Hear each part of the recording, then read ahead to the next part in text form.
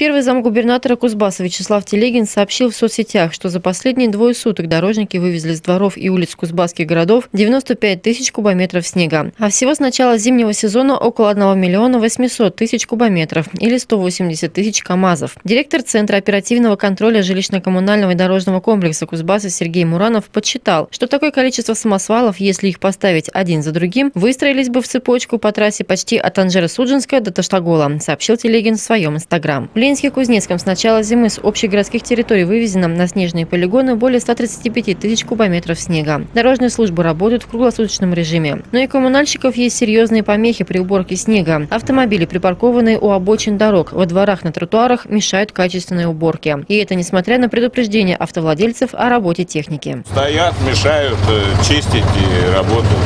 Что вот в этом случае делаете? То есть вы их объезжаете или как?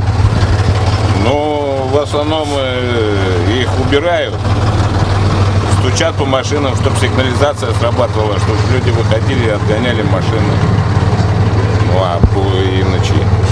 Если кого-то нету, конечно, мы там не чистим.